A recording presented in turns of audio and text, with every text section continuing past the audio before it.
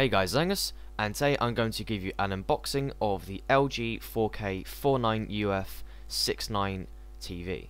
So this is a brand new 49 inch smart UHD TV and it will be specifically designed to use the smart apps and also provide incredible picture quality with up to 4 times the resolution of standard 1080p. So of course if you've unboxed the TV before then you'll note there is an awful lot of packaging and also a lot of protecting to ensure that the TV stays secure. So the first thing we have when we actually open the product is actually the two stands. Now LG have actually wanted to go for a quite sleek design, so what they've actually done is gone for actually quite small stands, but of course this should be specifically designed to keep the TV stable.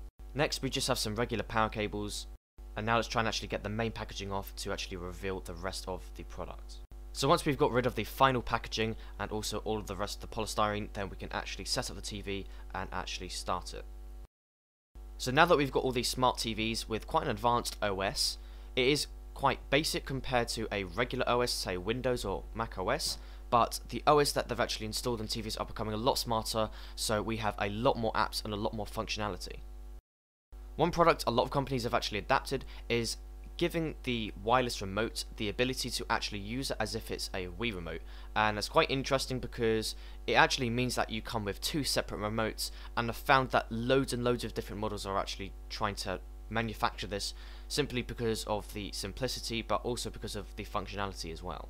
So the setup guide is fairly simple, giving you pretty basic instructions, and of course it'll give you other things like setting up the Wi-Fi, and of course getting used to the actual GUI. So the main GUI for the home screen is actually really nice. It really takes advantage of the full display and makes it incredibly easy to use. And of course, what's most important I think is that it actually makes it suitable for the wireless remote. So this is actually the Magic Remote, and that's what LG call it. It's taken the advantage of the technologies that have been used in the Wii U remote and actually integrated it into their own remote. So after watching back some 4K content, I have to say that the 4K TV is absolutely stunning. It's got absolutely immense detail, and it's incredibly sharp. Now, while the high definition is absolutely fantastic, and it's going to be really great for watching 4K Blu-ray discs, the main problem is that there is just such little content out there at the moment that's available in 4K. Of course, things like Netflix are actually uploading and enabling a lot of their content to be streamed in 4K, but at the moment there just really is just not enough.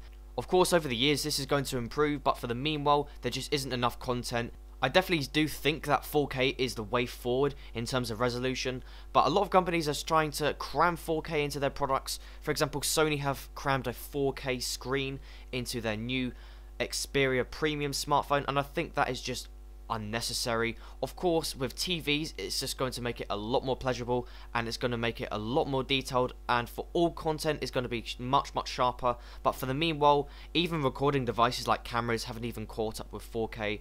So just the fact that there isn't even enough content that has even been made in 4K in the first place makes the TV a little bit limited. Anyway, there is my unboxing of the LG 49-inch 4K TV. If you did enjoy it, then definitely be sure to give this video a thumbs up, and thank you for watching and of course they do offer their own versions of the bigger lenses but they are a lot more expensive and Tamron are actually a budget brand that provides you really good lenses for a lot less than the standard ones provided by both Nikon and Canon. So we do have a lot of instructions and of course this is an international product so there are going to be a lot of manuals.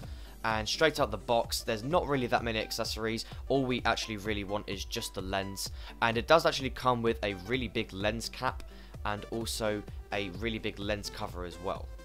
It's quite a nice addition because not only can it be used for actually protecting the actual lens when you're not using it, but it can also be